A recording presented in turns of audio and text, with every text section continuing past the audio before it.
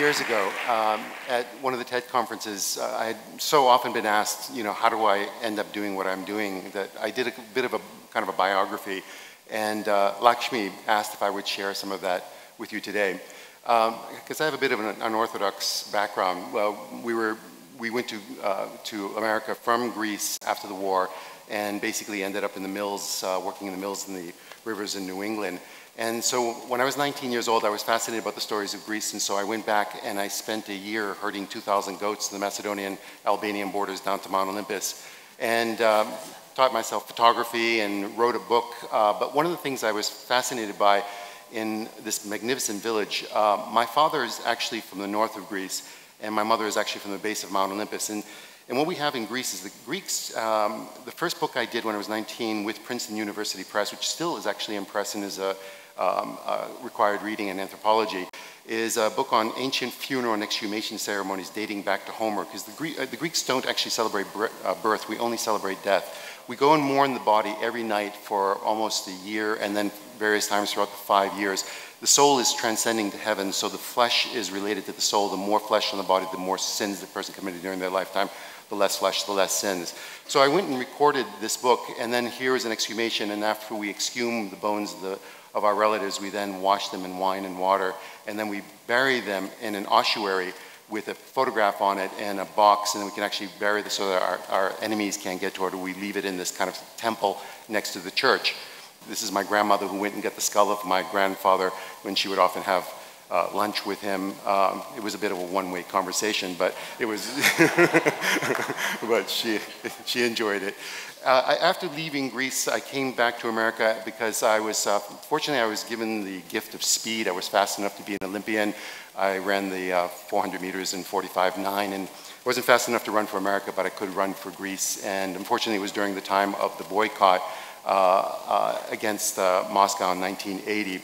So uh, I didn't end up competing, but the reason I'm showing this photograph, this is my father who's actually shaving me in preparation for a triathlon. We're a very close family, as you can see. but actually, my father has a very interesting story. He was the captain of the Marxist Underground on Mount Olympus. And so when he came to America, you know, as a goat herder and a, and a uh, freedom fighter, he said there are no need for freedom fighters in New Hampshire, and uh, uh, there are no shepherds here either. So he said, I know how to shear sheep, so I'll shear women, and became a hairdresser.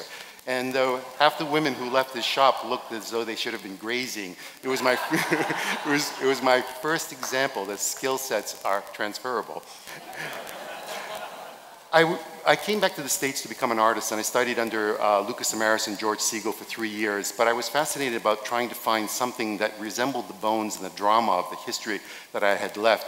And in the teaching files of hospitals, they had these magnificent, bizarre old x-rays and the only way to get in there was to have some reason to be in the hospital. My brother, who is now chairman of the Department of Ophthalmology at Brown University, uh, at that time was a resident. And I went in and actually started just doing a picture story that Life magazine liked.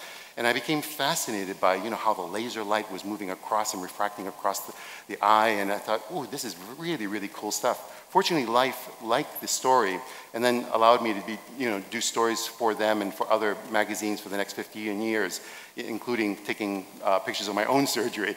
But what really fascinated me over those many years is I started to, wanted to go to places where the light was going. And so I started to teach myself mathematics and advanced math and then physics. And um, I started designing my own cameras and lenses. So I designed here a contact hysteroscope that basically is taking an image of the photograph of the embryo outside the amniotic sac.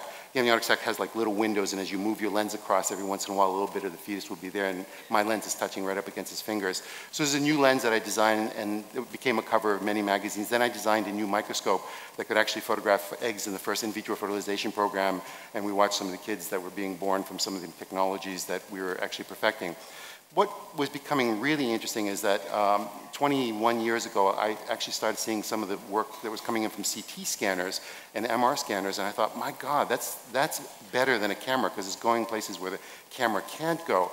And I knew, I understood physics and I understood, you know, math very well, and I thought, well, you know, okay, let's just ratchet up a little bit. You, then you have to learn Unix and then C and C++, and then basically I started writing algorithms in code to start trying to actually compile these images into, uh, into stories that we could actually look at and prepare surgeries in advance. And I started writing these algorithms in code where we were actually doing these surgeries on these, these kids.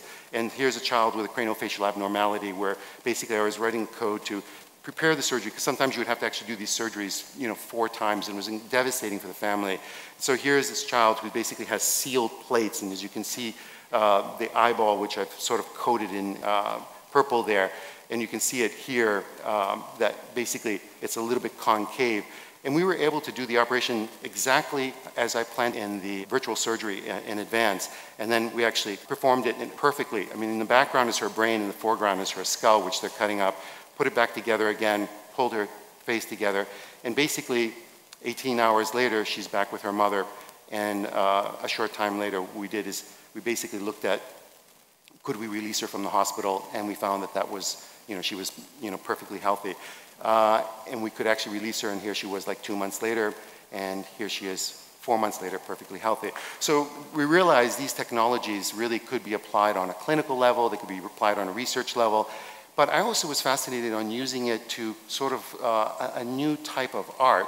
So I scanned myself with a spiral CT set, and one of the things as I showed you a little bit earlier, that photograph on the box of the exhumation, I started to build, I thought this would be really interesting because wouldn't it be fascinating if all these new scans could have multiple uh, properties. One is that not only could we actually use it clinically uh, uh, to do surgery, but we could actually use it for research.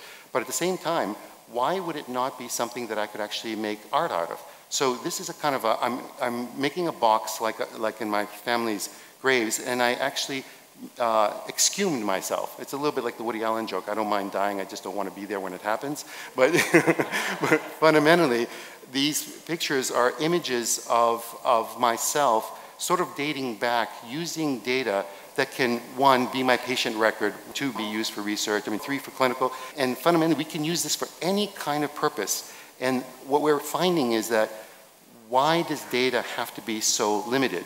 You have the ability to use it on so many levels that we then started to use this kind of information from an educational perspective as well in teaching about Alzheimer's or um, in this case here, again, it's uh, my skull for another cover of Life magazine my mother knew it was me immediately from the nose.